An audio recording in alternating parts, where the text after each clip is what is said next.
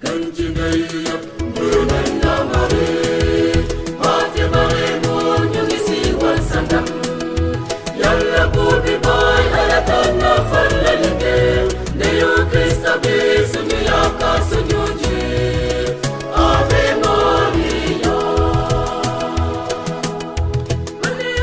thème que vous avez choisi est tiré de l'évangile de Saint Luc, le chapitre 1, les versets 54 à 55. C'est le thème de votre quatrième randonnée. Pour certains, c'est la première. Pour d'autres, c'est la deuxième. Pour d'autres encore, la troisième. Et pour d'autres, gloire à Dieu, la quatrième.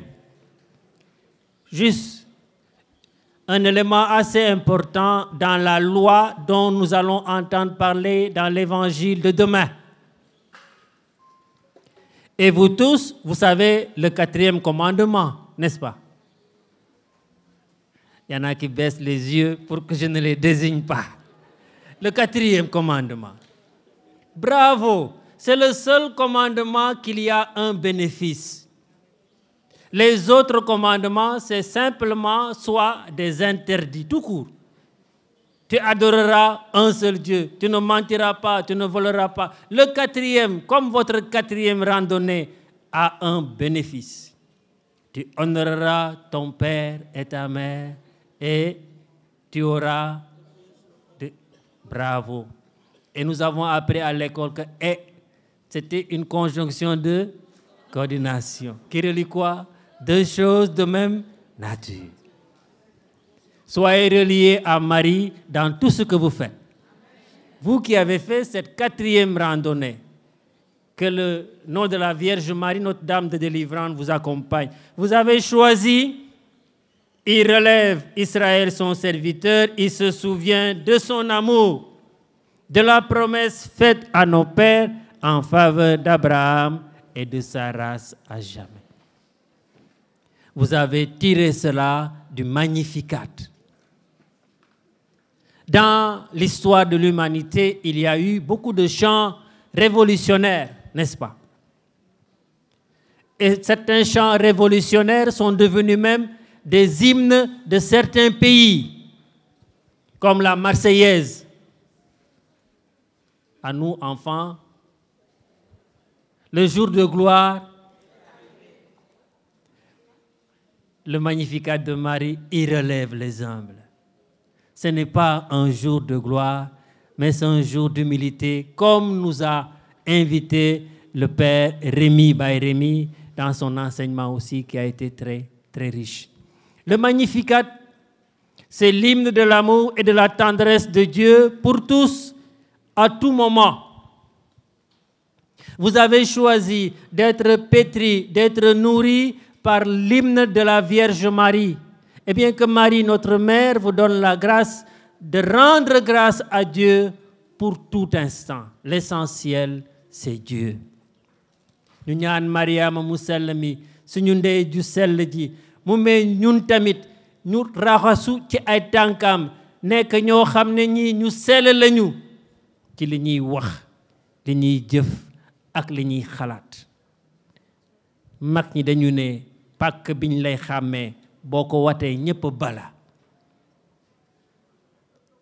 Ce qui fait la différence entre un chrétien et un non-chrétien c'est tout simplement la voie de l'humilité. Personne ne devient chrétien ni pour les galons ni pour les honneurs. Et nous en avons moins d'ailleurs la preuve et le Magnificat dont vous avez choisi un verset pour nourrir votre journée vient à point nommé. Parce que le Magnificat nous fait comprendre toute la tendresse et la miséricorde de Dieu pour tous et pour chacun. La petite question, c'est celle de savoir pourquoi nous sommes baptisés? Chacun d'entre nous pourra donner une réponse, n'est-ce pas? Si je demande à Tata Hélène pourquoi tu es baptisée, elle va me dire je suis baptisée pour faire la cuisine pour les autres. Pour faire la cuisine pour les... Tata Hélène lu chrétienne chrétienne Ah,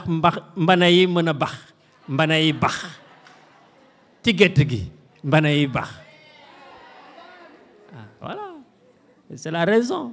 D'autres vont dire moi je suis devenue chrétienne parce que je veux soigner les autres. Suivez mon regard. Ma maman est là. Elle est infirmière. N'est-ce pas Sylvie?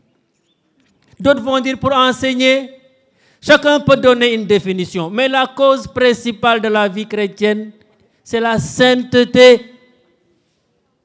Le Magnificat nous conduit à la sainteté. Vous êtes venus faire cette randonnée pour la sainteté. Il n'y a pas de programme. Je suis chrétien pour être un saint. Et nous, Sénégalais, nous avons eu la grâce et la joie d'avoir vu un saint.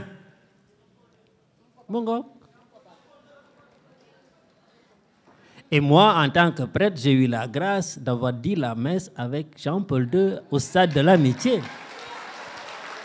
Ah.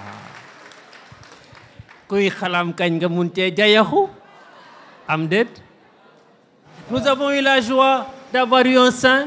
Le Magnificat nous conduit à la sainteté. La sainteté, c'est la cause finale de la vie chrétienne. On n'a pas de programme.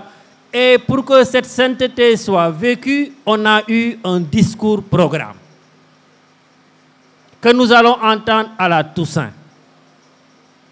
Le discours programme de Jésus, le premier sermon, sa première homélie, sa première prédication, c'est les, les béatitudes que nous allons entendre tous à la fête de la Toussaint. Nous sommes devenus chrétiens pour être des saints. Le moyen pour être un saint, c'est ce qu'on appelle la cause efficace. Nous passons de la cause finale, la sainteté, à la cause efficace. Pour que la sainteté se réalise, il faut être des chrétiens miséricordieux, bari yermande.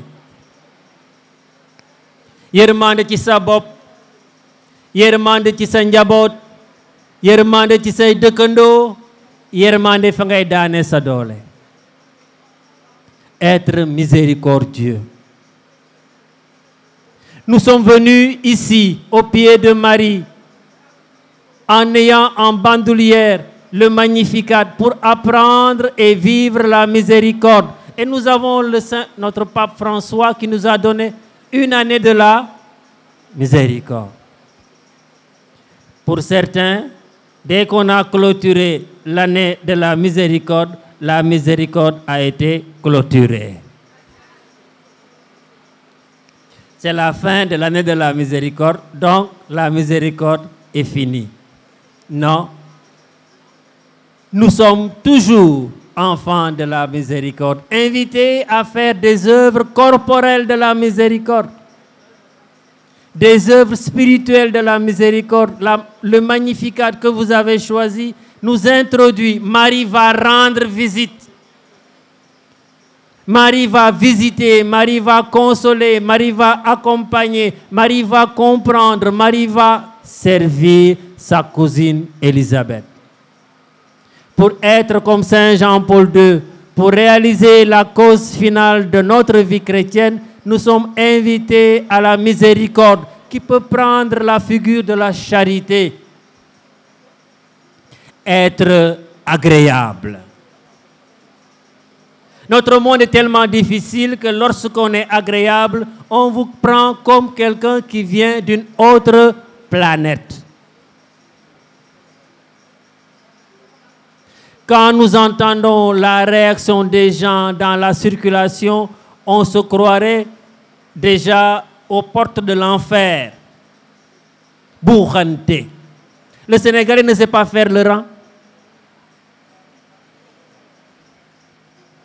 ñiiro ŋaayo xulo xasante chrétien du alors j'aurais bien aimé voir que les chrétiens qui ne font pas de xulo là qui lèvent la main ou qui se lèvent comme ça on voit. Ku fi juum ma confessé la après. Ne wax bi leer. De ku fi juum dinaa toog fële confessé ko. Kon gars yi wàcce ñoom ñëpp wàcce nañ seen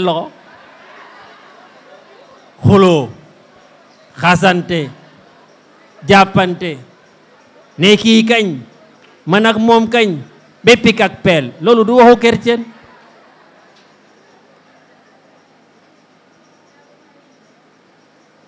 Alors moi je suis je suis même si ma maman Sylvie est est je suis sérère loolu moo tax ma xees tuuti moom moo ma may tuuti ci chez les sérères pour que quelqu'un réussisse à te pardonner il faut vraiment se lever de très tôt le sérère est très rancunier je suis sérère hein? Je vais vous dire, je vais vous dire. Pendant dix ans, j'étais curé à Diarao. Et il y avait des chrétiens qui venaient à la messe, ils ne s'asseyaient pas sur le même, sur le même banc. J'étais très inquiet. On me dit, Veneyo, tukar, tukar, andefu. Wanayo, sin, sin, andefu, imbogue. Et ils disent que tous, ils sont serrés. Je, je traduis. Si je me trompe, elle va traduire, c'est ma cousine. Pour eux, c'est les vrais serrères. Les autres là, c'est un sous-produit. Comment un chrétien peut dire ça à un autre chrétien? Dans un village, je suis parti voir. On me dit, nous ne parlons pas avec ces gens-là. Je leur dis, pourquoi? Pourtant, vous venez ensemble à la messe. Mune, no jamano faga, mon père, no njomna. Fab Denka ma Fab In. Dans le passé, il y avait un championnat de lutte. Leur papa avait terrassé notre papa. C'est pourquoi on ne parle plus avec eux.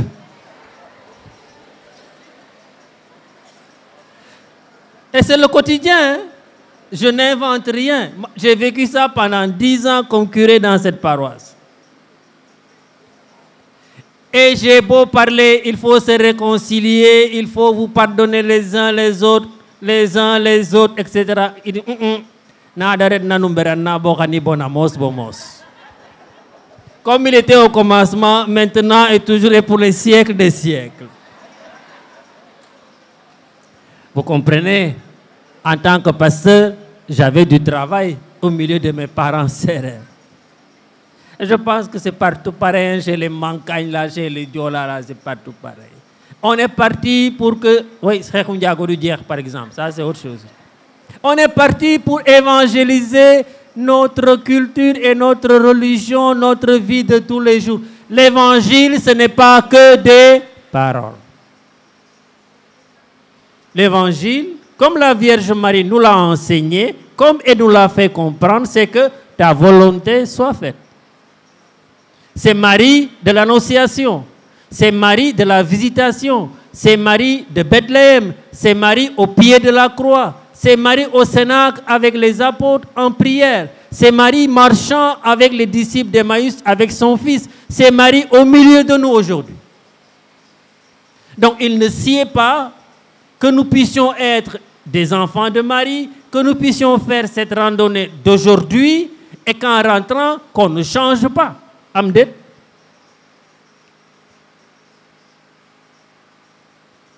Il faut que quand vous rentrez à la maison aujourd'hui, on puisse dire Ah, elle parle avec l'autre, elle salue l'autre. Je dis elle parce que vous les femmes, vous êtes magnifiques. Regardez la randonnée. Il n'y a que des femmes, les hommes sont où? Ils sont au Calando. Ils sont en train de boire du Jakarta. On peut les compter sur les bouts des doigts. ah ah Jacques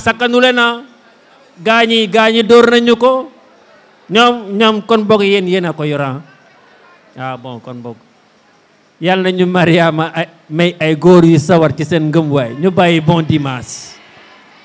bon dimanche je reviens sur une chose qui est capitale, qui sied et qui est normale. Ne quittez pas Poponguine en étant comme vous étiez en arrivant. Je vous en prie.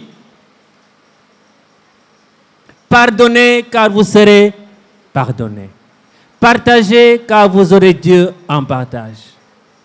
Aimez-vous les uns les autres comme je vous ai aimé. Et demain dimanche, le Christ a dit,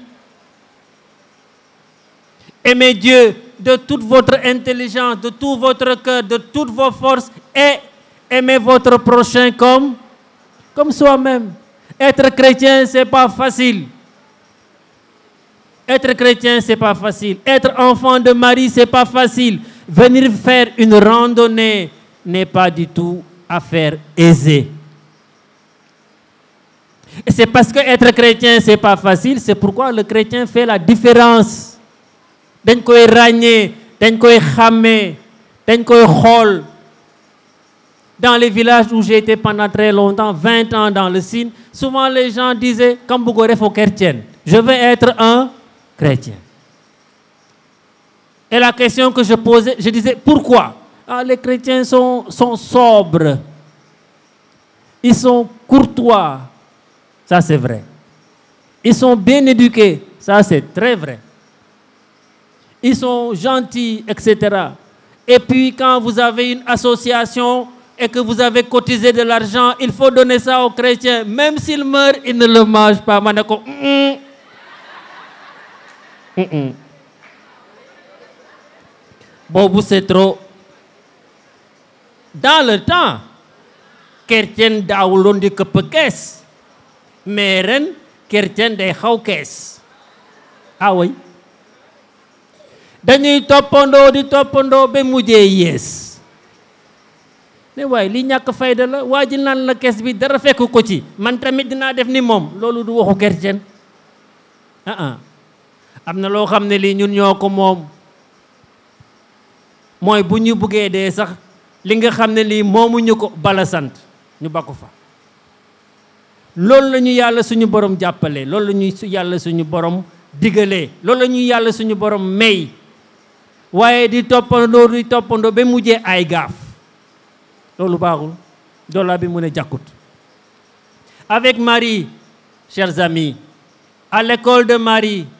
chers amis prenons soin de comprendre la raison pour laquelle nous avons choisi le Magnificat comme phare de notre journée et éclair pour notre semaine et pourquoi pas pour toute notre année pastorale. Que Marie, qui élève les hommes, puisse nous élever.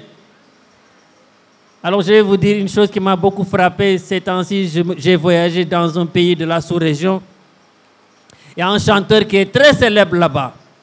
Il chante élevé, élevé, élevé, élevé. Un kérosène, je crois qu'il s'appelle. Il dit, ceux qui t'ont enterré là, ils vont te déterrer. J'étais frappé par ce, ce chantre. Il disait que le pétrole du village est devenu kérosène. Un enfant de Dieu ne peut jamais échouer. Alors j'ai compris que lui là, c'est bon, il a compris. Il a compris l'évangile. Vous aussi, filles et enfants de Dieu, vous ne pouvez pas échouer. Jamais. Ceux qui t'ont enterré là, ils vont te déterrer. Ceux qui ont dit mal sur toi là, ils vont te laver avec du savon. Hein? Ceux qui cherchent que tu tombes là, eux-mêmes, ils vont chuter avant toi.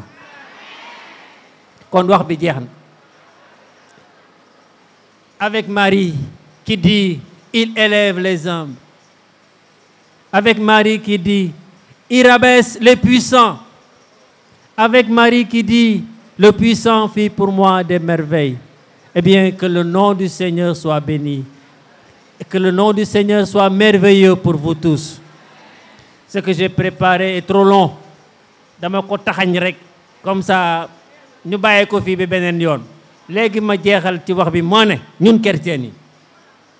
waaw ñun chrétien yi duñu lettar bu ndaw xajuñu ci poste kenn duñu koli wax bi jeex na.